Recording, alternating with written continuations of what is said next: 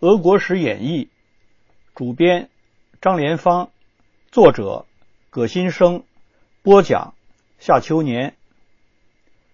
第三回下，金帐汗统治罗斯，诸王公争夺地盘。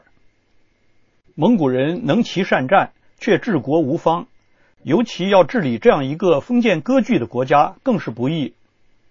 于是，蒙古人想法利用当地王公来对付罗斯人，在罗斯各王公之间挑拨离间，唆使王公们自相残杀，以便铲除那些不愿归顺金帐汗国的有一定势力的王公。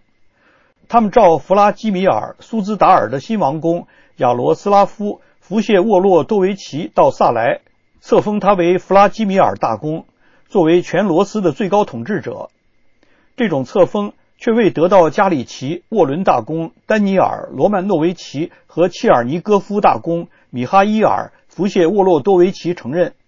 拔都得知此事之后，便差人把丹尼尔和米哈伊尔叫到萨莱。丹尼尔见两位同行的切尔尼戈夫大公被杀后，立即表示放弃基辅公国和博洛霍夫地区的控制权，并服从弗拉基米尔大公，为此才保全了自己的性命。尽管丹尼尔屈从了，亚罗斯拉夫的日子也未因此好过起来。他夹在和林同金帐汗国争斗之中，在和林的贵由大汗宫廷中，由海迷失皇后和图拉齐纳妃子所组成的阴谋集团操纵了蒙古的国家政权。他们试图除掉亚罗斯拉夫，因为他是拔都选择的人，准备树立一个听信他们的傀儡替代之。这一年。贵由大汗下旨召见亚罗斯拉夫，亚罗斯拉夫预见到此行定是凶多吉少，但又不能不去，于是带着一大堆侍从从萨莱动身前往和林，一路上跋山涉水，披荆斩棘，很多侍从都死在了旅途中。最后终于来到了蒙古草原，这里竟是地无木植为荒草，天产丘陵没大山，五谷不成滋乳酪。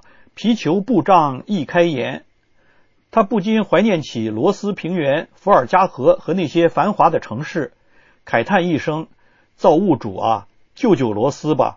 罗斯已被蒙古人糟蹋的不成样子了。”果然，如同大公所预料的那样，在他来之前，宫中业已做出了杀死大公的决定，一杯毒酒了结了大公的性命。亚罗斯拉夫死后。妃子图拉启娜立即派特使赴罗斯，以将他父亲的土地赐予他为由，召见亚历山大·亚罗斯拉夫。亚历山大心里明白，此行必将如同父亲一样，不死也会被终身禁锢，于是称病拒绝前行。拔都见亚罗斯拉夫已死，便针锋相对的立亚罗斯拉夫兄弟斯维亚托斯拉夫为大公。和林那边并未善罢甘休，又下旨召见。这次召见的不只是亚历山大，还有他的兄弟安德烈。兄弟两人长途跋涉到了和林。这时，蒙古政权发生了变更，贵由大汗死了，皇后海迷失临朝称制。皇后任命安德烈·亚罗斯拉维奇为大公，赐予亚历山大·亚罗斯拉维奇以基辅和整个罗斯的土地，废黜斯维亚托斯拉夫。皇后如此安排。一方面是为了削弱罗斯其他王公的势力，另一方面是为了破坏拔都对罗斯的影响。一二四九年年底，兄弟俩回到了罗斯，但是兄弟俩却发生了分歧。哥哥亚历山大认为，目前要与金帐汗国的汗维持和平关系，金帐汗国还很强大，罗斯尚未具有同金帐汗国抗衡的力量。弟弟安德烈却认为，应当同较有实力的大公。例如，特维尔的佩亚斯拉夫利尔大公亚罗斯拉夫、加里奇沃伦大公丹尼尔罗曼诺维奇结成联盟，建立防御同盟来反抗金帐汗国的统治。安德烈做出的第一个行动便是与丹尼尔罗曼诺维奇的女儿结婚。一二五一年，贵由皇后专权被推翻，蒙哥被推为大汗，拔都支持蒙哥汗。这样一来，安德烈的地位岌岌可危。而亚历山大被拔都召见后，被授予弗拉基米尔大公的称号，亚历山大成了罗斯的最高统治者。随后，拔都命令统将聂夫留去攻打安德烈，安德烈和自己的手下跑到佩列亚斯拉夫尔后藏身国外。特维尔的佩列亚斯拉夫尔大公受牵连，也逃到国外。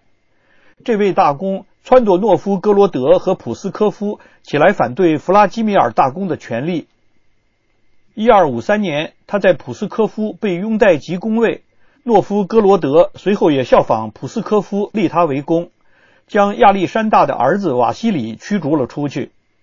亚历山大一气之下率部占领了托尔若克后，开赴诺夫哥罗德。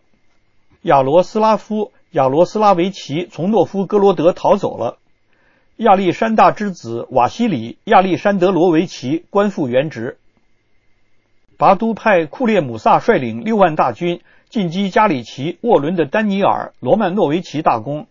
丹尼尔早有准备，他不仅击退了蒙古人的进攻，而且还建立了一支反抗蒙古人的军队，开始向博洛霍夫地区进攻，甚至想占领基辅。但是，当他收复了博洛霍夫时，却丢掉了加里奇的波尼佐维耶。蒙古人占领了那个地方。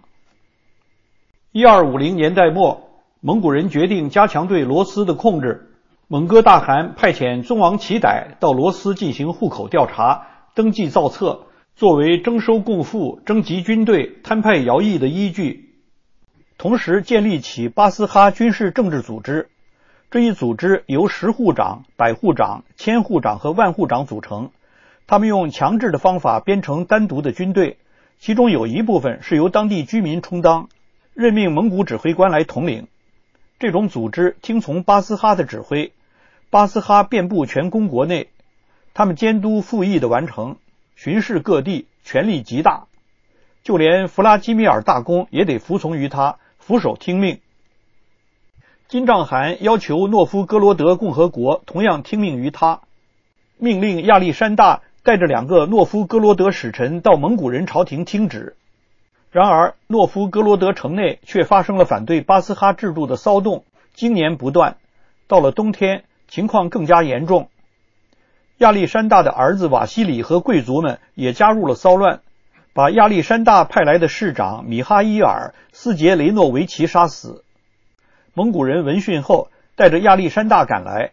瓦西里和一些贵族立即逃往普斯科夫，居民们的骚动暂时平息，并将扣押的使臣放走。这只是镇压前短暂的平静。蒙古人走后，亚历山大把军队调了进来，直扑普斯科夫，将儿子捉住了，押送回弗拉基米尔城。随后把肇事者剜目削鼻。事情大约持续了两年左右。蒙古人最后离间了贵族与平民，答应把赋税全加在平民身上。城中的贵族镇压了人民的起义。亚历山大大公把自己的儿子德米特里留下做诸城公国的大公后，带着人马撤回了弗拉基米尔城。一二六零年代初，蒙古统治集团内部矛盾开始爆发，忽必烈大汗和阿里不哥之间开始了斗争。金帐汗别尔格利用了他们两人的矛盾，脱离了蒙古大汗而独立。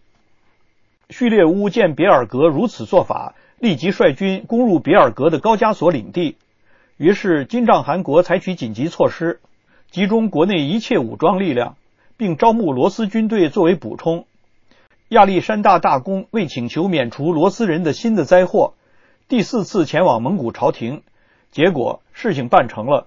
人却在回罗斯的路上病倒了。一二六三年十一月十四日，亚历山大死在哥罗杰茨。当时在罗斯已经形成的政治上比较统一的局面，在他死后又被封建内乱所破坏。弗拉基米尔大公的称号成了毫无权力的虚名，国家大权旁落各个公国——莫斯科、特维尔、梁赞等封建主的手中。蒙古朝廷对这种局面是无能为力。因为他已是自顾不暇，当时蒙古朝廷已开始分裂，开始了两个政权并存的局面。随后，在黑海北部又出现了第三个蒙古军事政治中心——纳海汗国。纳海在对金帐汗国保持独立的同时，也觊觎着罗斯的统治权，开始了以金帐汗为一方代表，纳海为另一方代表的混战。特维尔大公米哈伊尔·亚罗斯拉维奇。佩列亚斯拉夫尔大公德米特里亚历山德罗维奇和他的儿子伊凡向纳海称臣。罗斯托夫大公和亚罗斯拉夫尔大公，哥罗杰茨大公则依仗金帐汗国之势，欲夺弗拉基米尔大公宝座。一二八零年代初，哥罗杰茨王公安德烈·亚历山德罗维奇靠着金帐汗国考核台和阿琴吉塔军队的帮助，与亚罗斯拉夫王公菲多尔·罗斯奇斯拉维奇、罗斯托夫王公康斯坦丁·波里索维奇结成联盟，在科斯特罗马贵族们的支持下，成为了弗拉基米尔大公。蒙古军队扫荡了穆罗姆、弗拉基米尔、尤里耶夫、苏兹达尔。佩列亚斯拉夫尔、特维尔、托尔若克诸城，掠财掳人，摧房焚舍，加上严寒侵袭，无家可归者多冻死、饿死，一片哭声震天动地。过了两年，佩列亚斯拉夫尔王公德米特里亚历山德罗维奇在纳海的支持下，成为弗拉基米尔大公。尽管大公之名现已是徒有虚名，但大公的土地。毕竟包含有弗拉基米尔、佩列亚斯拉夫尔、科斯特罗马、夏诺夫哥罗德和哥罗杰茨。德米特里与特维尔的米哈伊尔·亚罗斯拉维奇、莫斯科大公丹尼尔·亚历山德罗维奇结成三方同盟，击退了哥罗杰茨大公和金帐汗国查列维奇军队的进攻。这时，三方同盟中，莫斯科大公的实力已有问鼎之力，这是后话。在此暂且不谈。一二九零年代初，托托成为金帐汗国大汗，他派兵打败了纳海，巩固了自己的地位。罗斯托夫王公们为此兴奋异常。安德烈·亚历山德罗维奇、罗斯托夫王公德米特里·博里索维奇、亚罗斯拉夫王公等结伴到蒙古朝廷，诉说弗拉基米尔大公德米特里·亚历山德罗维奇的种种罪状。托托汗当然正求之不得，他正苦于找不到讨伐德米特里的借口。他令大将特丹率大军向罗斯进军，灾难深重的罗斯又一次遭到了破坏。佩列亚斯拉夫尔的人们再也不能忍受这种生活，纷纷离去，以致全部乡区竟空无一人，只有特维尔完整无恙。这里的居民坚决地顶住了进攻。米哈伊尔·亚罗斯拉维奇和德米特里·亚历山德罗维奇也躲到这里来了。最后，哥罗杰茨王公安德烈·亚历山德罗维奇窃据了弗拉基米尔大公的宝座。一二九九年，纳海军惨败，纳海被托托军中的一位罗斯骑兵杀死。蒙古朝廷结束了两个政权并存的局面。托托汗为了加强自己的统治，使用蒙古人的一贯伎俩。在那些封建王宫中挑拨，试图利用王宫间的斗争来互相削弱。托托汗始料未及的是，正当他看着各王宫之间龙争虎斗时，那不起眼的莫斯科公国却日渐壮大，成了金帐汗国的掘墓人。正是同胞兄弟尚操戈，异类岂能保太平？欲知详情如何，且听下回分解。